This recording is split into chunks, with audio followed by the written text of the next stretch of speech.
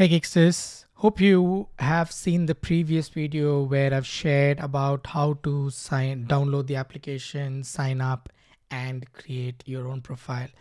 The first thing that I would recommend you do is actually create an earning goal. For most of the rideshare and delivery drivers out there, you know, the income is very uncertain. Some days are good and some days are bad, but we are more likely to achieve a financial security by actually keeping a budget or a target earning goal. So pretty easy to do that. Uh, on your home screen, you will find this dashboard which says add goal and go and add the goal.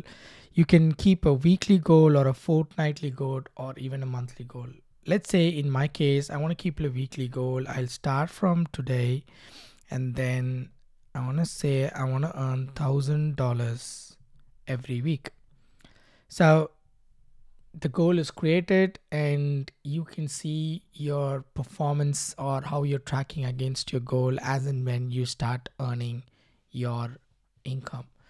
So uh, in the next video, I will share about how to add your bank for auto syncing your income and expenses. So stay tuned for that video. Thank you.